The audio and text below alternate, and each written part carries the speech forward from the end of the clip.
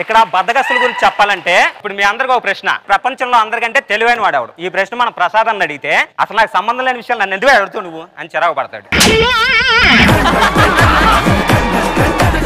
విమానులు అందుకంటే ఆయన నెత్తి మీద ఉన్న బొచ్చుగా బద్దం ఎక్కువ. ఏం పెరుగుతానులే అని అది కూడా ఆగిపోయింది అక్కడ. ఇంత క్యూట్ ఉన్నాయంటబ్బా పుట్టుకు నుంచి ఇంతేరా మనం? ఇప్పటి వరకు చూడలేదు నేను ఆ యాంగిల్లో నేను. మరి నీ కళ్ళు ఎత్తికెక్కితే ఏం చూస్తావు నువ్వు?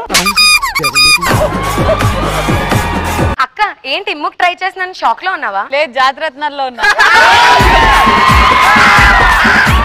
నూకరాజన్న నువ్వు ఆయన కొడుకు కాదన్నా. ఏ ఎందుకురా? ఆయనే ఆయన కొడుకు. ఎట్లా? ఒకసారి ఫోటో చూడు. చూసా? ఆయనకి ఫేస్ లేదు మనోడికి ఏం లేదు. ఈసారి నుంచి బాత్రూమ్ గొల్లెం పెట్టుకుంటానయా పద్దాలు చూస్తున్నట్టున్నావు ఏం లేదు ఏం లేదు అట్లా